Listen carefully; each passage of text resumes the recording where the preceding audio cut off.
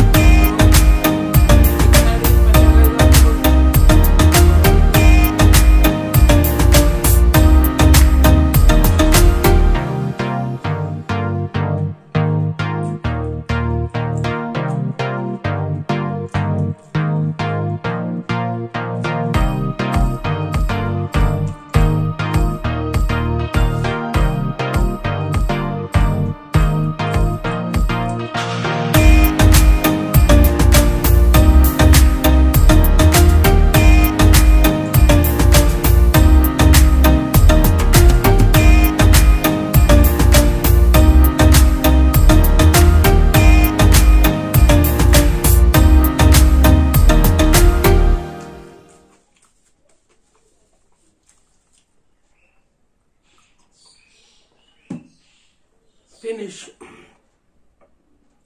Stop.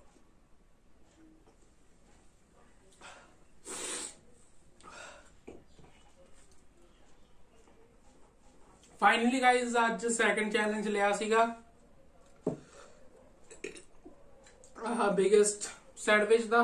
5 minute ਦੇ ਵਿੱਚ 8 layer sandwich finish ਹੋ ਗਿਆ। I hope so guys video ਤੁਹਾਨੂੰ ਪਸੰਦ ਆਈ। ਜੇ ਪਸੰਦ ਆ ਗਈ ਤਾਂ ਵੀਡੀਓ ਨੂੰ ਲਾਈਕ ਸ਼ੇਅਰ ਔਰ ਕਮੈਂਟ ਕਰਨਾ ਨਾ ਭੁੱਲਿਓ। ਔਰ ਜਿਹੜੇ ਚੈਨਲ ਤੇ ਨਵੇਂ ਨੇ, ਉਹ ਚੈਨਲ ਨੂੰ ਜਰੂਰ ਸਬਸਕ੍ਰਾਈਬ ਕਰ ਲਿਓ ਔਰ ਬੈਲ ਆਈਕਨ ਨੂੰ ਆਲ ਤੇ ਪ੍ਰੈਸ ਕਰ ਦਿਓ ਤਾਂ ਕਿ ਮੇਰੀ ਵੀਡੀਓਜ਼ ਦੇ ਨੋਟੀਫਿਕੇਸ਼ਨ ਤੁਹਾਡੇ ਤੱਕ ਸਭ ਤੋਂ ਪਹਿਲਾਂ ਪਹੁੰਚ ਸਕਣ। ਮਿਲਦੇ ਹਾਂ ਇੱਦਾਂ ਕਿਸੇ ਨੈਕਸਟ ਵੀਡੀਓ ਦੇ ਨਾਲ। ਉਦੋਂ ਤੱਕ ਲਈ ਸੇਫ ਰਹੋ। Thank you God bless